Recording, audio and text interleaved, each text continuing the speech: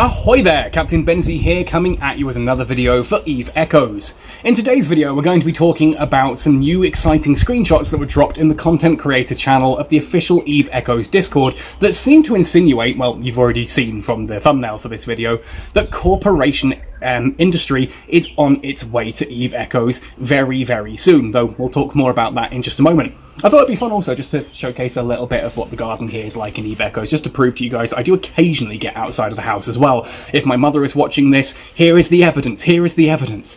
But anyway, if you enjoy this video, let me know by hitting like on it, subscribe to the channel for all things Eve Echoes, ding the notification bell to never miss an upload, and of course let me know what ships, what topics you'd like me to cover in future content. If you do want to go the extra mile to help support this channel, you can of course come and either find us on Patreon, where you can pledge to support the channel that way, or you can come find us on our Redbubble merchandise store, where you can pick up all kinds of awesome t-shirts, hoodies, stickers, water bottles, you name it, it's all there. Anyway folks, that all said and done, let's jump right into talking about corporation industry. This is the first of the four screenshots that we were sent in the content creator chat on the official Eve Echoes Discord. Now, I'm familiar with industry. You know, I've built my own ships, I've reverse engineered my own blueprints, I have an alt that makes rigs for me, etc., etc., etc. Um, so I'm familiar enough with this screen, though obviously mine doesn't have nearly as many manufacturing job slots or reverse engineering job slots, but it took me a while to sort of figure out what had actually changed here. Then I spotted it. Right here in the centre, we now have these two little squares. The one on the left is a square with a silhouette in it that seems to suggest personal resources, and the one on the right is a square that has the corporation logo. When I say the corporation logo, I mean that star with the two wreaths. So if you open your menu and look at the corporation tab, that is the icon that is used to represent corporation assets. So this looks like you'll be able to use corporation assets if you have the right uh, the, the right permissions in order to build ships, etc. in manufacturing. Same is true down here with reverse engineering. We have damaged hulls, personal damaged hulls at zero, and corporation damaged hulls at zero. This looks very much like then that we are going to be getting corporation industry, which is a very cool feature, as I'll explain in a moment. Now, we did actually have this back in the open beta test of December 2019, January 2020, um, although when I say we had this, what I actually mean is we had the little toggle there to change between personal and corporation. It didn't actually work in the open beta test, um, and when the game launched, it was clear that they had just removed it. They took those toggles out, corporation industry was not a thing, um, it had obviously been removed as something to work on at, for future, which looks like it is coming now. Now, when I say coming now, I'm not sure if this is going to be part of the May update, which of course is getting very, very close, or if, like ore compression, it might be something that arrives in a weekly maintenance patch. We don't have any confirmation on that, so do stay tuned to this channel, ding that notification, and subscribe, um, etc watch my patch notes video just to keep an eye out on it there. I will shout from the rooftops when we know that this is going to be added to the game. Anyway, this is basically the standard manufacturing job panel, but it's got that personal and corporation toggle in the top right, so we can move on. There's not much exciting here. If we move into the next picture, you'll see this is the manufacturing panel itself. And first things first, we're building crucifiers. Holy heck yes. Anything building crucifiers makes me very, very happy. If you've watched my videos on any of the E-War frigates, you'll know that I think these are heavily underutilized ships, crucifiers and vigils specifically. Oh no, the enemy battleship is absolutely destroying our fleet. Okay, so you send out a crucifier with some tracking disruptors, and now that battleship ain't hitting anything. Da da da da da da. Crucifier saves the day. Happy, happy Benzie. More people should be flying crucifiers and vigils. Griffins are a bit more situational since there don't really seem to be that many missile ships used in PvP. Um, and certainly the more less, well, the less said about sensor dampeners, the better. But anyway, enough of that. We're here to talk about corporation industry.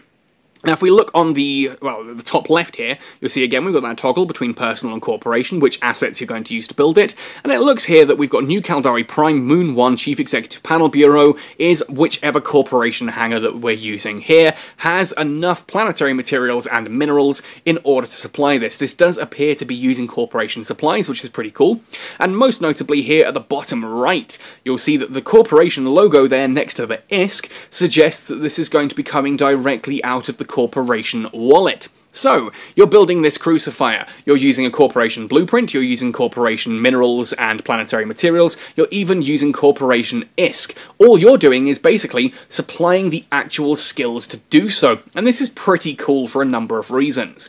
Basically, if you're running corporation industry right now, it can be difficult to actually get the ores where they need to go thanks to uh, corporation contracts, it's nice and easy to get your miners to sell you ores, um, so they can go out and they can mine a load of stuff and sell it directly to the corporation without having to run it all the way up to JITA, etc., um, which is pretty cool. But once you've got those ores and minerals in your corporation hangar, what do you do then? You need to say to people, like on Discord or something, an external tool, basically saying, these are the different ships we need. We need 95 Crucifiers, we need 25 Scythes, we need 15 Tempests, yada yada yada.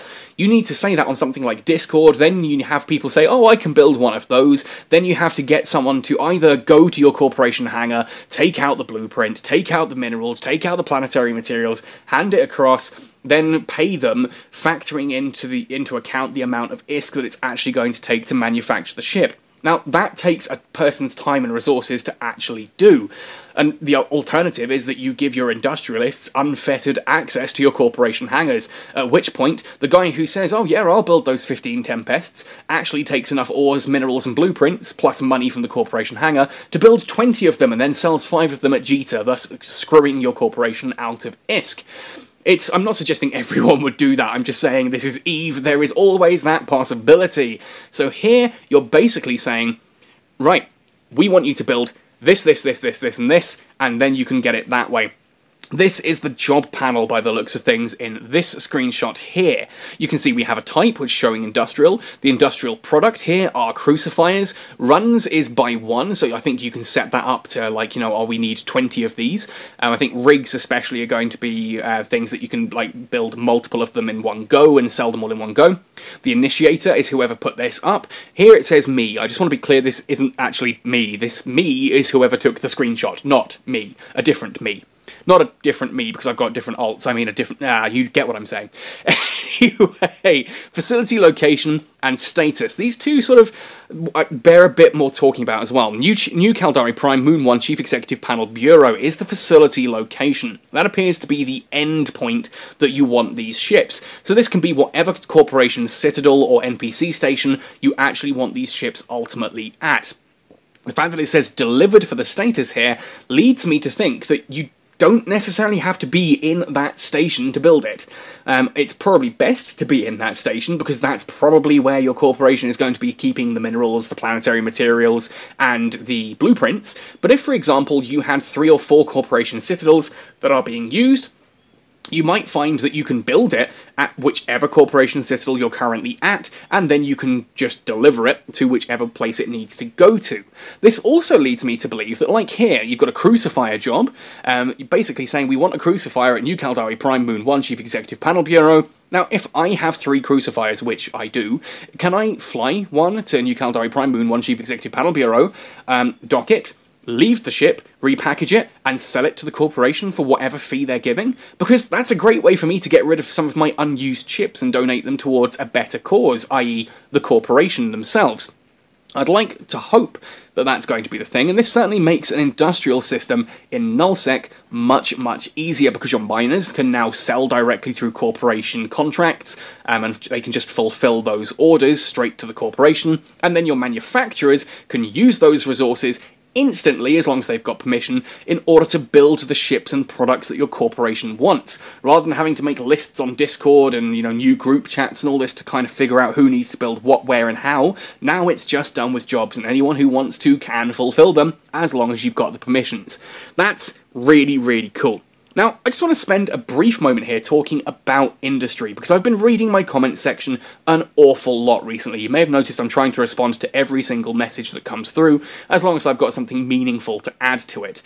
Um, ultimately, I've seen a lot of people talking about industry in very negative ways, and this confuses me because we've got a lot of powerful industrialists in Void, and they seem to be making a good amount of money fairly easily. Like they've adapted to insurance, they've we've found ways to do this kind of job request and that using Discord, so it's going to be amazing to actually have this in game now.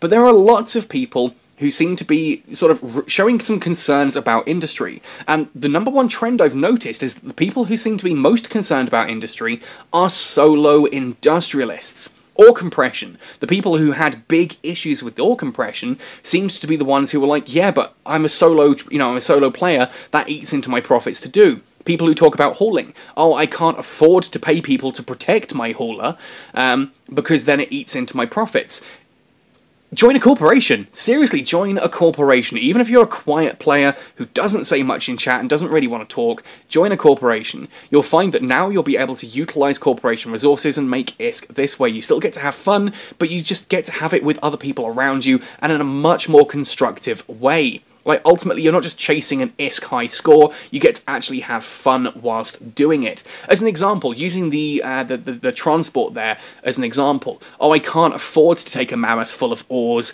from my low sec sta- my null sec station um, up to high sec. I can't afford, you know, to hire security because it eats into my profits we don't pay our, our, our, escorts. We just kind of say, hey, I'm doing a big run up to high sec. Does anyone want to run as an escort? And suddenly we have a fleet up and running. You have a scout in front, a scout behind, and a load of other people in the middle flying alongside whichever carriers you happen to be taking with you, whichever transports, etc. Basically, the payment is the fact that there is a possibility of ISK. The payment is that we get to talk in voice comms. The payment is that you get a fleet that could be blowing up some enemy ships, does a little bit of a gate camp once we hit the high sec boundary, um, and that other ship can uh, carry on in safety. Um, and we just get to have fun with things like this. You know, the payment is the fleet. You don't need to actually pay ISK to pilots to do this kind of stuff. This is a video game, not a job. You don't have to monetize everything. Have fun with these things. Ultimately, I think that's a key component for industrialists. Um, and now that we're getting corporation industry, that makes corporation industry even easier. It's going to be easier for those industrialists to make money. And I know that you know that the, the the, the consensus has been that insurance has really hit industry hard. I personally disagree with that. I know a lot of industrialists in Void disagree with that. They're having great fun fulfilling buy orders, etc., for this kind of stuff, and it's an easy way to make guaranteed money for them. Um, and I think Reddit kind of had, and I know I go on about Reddit a lot. I think Reddit had a really interesting point on that. They mentioned that oh, you know, look, there's like 25 unfilled succubus orders on. Uh, in the system. That's a, a way to show that insurance is bad. And it's like there's 25 guaranteed sales of a succubus there. If you're building a succubus, you can now sell it guaranteed rather than having to post it up at Jita and wait for it to sell over a couple of days or whatever.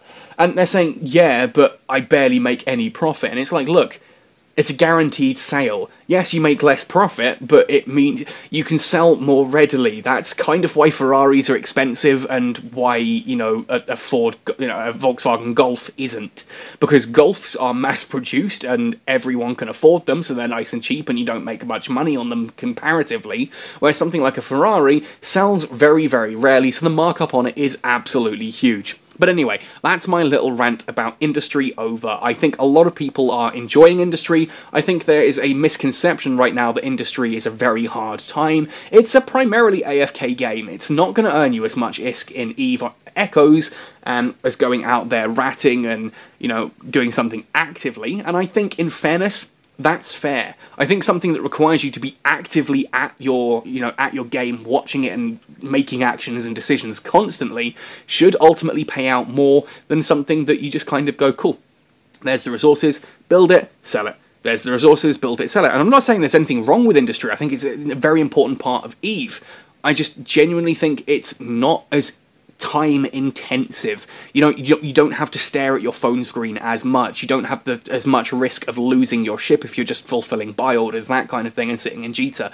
So there's all kinds of different aspects to it. But let me know your thoughts and opinions in the comment section down below. I will try to respond to each and every one of them as long as they're politely worded. Anytime someone comes in and tells me to, you know, F off or whatever, I tend to just hide that person from channel. If you've got something interesting to say, I will usually respond to it, whether I agree with you or not, and it's great to have that kind of discourse and conversation. It's how I learn how different people are feeling. And again, I've been accused in the past of basically having an echo chamber just with Void, and that's simply not true. I listen to people all over the community. My goodness, you should see my DMs every time I log into the game. There are just private messages all over the place. I'm sitting on about 400 um, unread messages on Discord, that kind of thing. I talk to as many people about this game as I can constantly. But anyway, I'm rambling onwards now. This looks really cool to me corporation manufacturing, corporation industry coming to an Eve Echoes near you soon. Whether it's this week in the maintenance, whether it's during the May update, we'll find out more and I will let you know as soon as I do. So make sure you are subscribed, make sure that notification bell has been dinged so that you do not miss out on that information.